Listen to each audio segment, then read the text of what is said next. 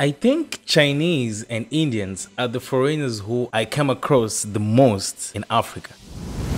So, how do we as Africans view Indians and Chinese in Africa? So, something which I should point is that all these things which I'm going to say here are personal things. I'm not going to speak for the whole continent, I'm going to speak for Bertin. And also, I'm not trying to bring a difference into saying who is the best comparatively to another one. I'm not doing that. I'm just bringing my point of view of how I view one comparatively to another in Africa. But if I can be more specific, in my country, Congo, the very first thing, let me start with China. Me, the way I view them and the way I've seen in most African countries countries. Doing business with government, like the big businesses, production or factory, like manufacturing stuff, and mines. Okay, I'm saying this because maybe because my country, one of the industry which is mostly known for is mines. You will find mostly Chinese in that thing. If I can say Congo or most of African countries going to China, mainly it's because of business or buying stuff which are being made in China. And of course, Chinese companies are mostly the companies which works with the government on construction of most things. It be of things like roads, most of the things which are done with the governments when they need to construct it with support from outside, mostly they're done with Chinese. So let's take the case of India. Indians, for me, the way I know, are known for doing business in Africa. And if I can take the case of Congo, one of the other things which I know Indians for also is their presence, their military presence with the UN in Congo. I don't know about other countries which have the UN in Africa, but for Congo, the UN is present and the most soldiers who I find around are mostly Indians. And of course, one of the, the biggest things is that Indians are also known for apparently original things and a good health. Their health system is kind of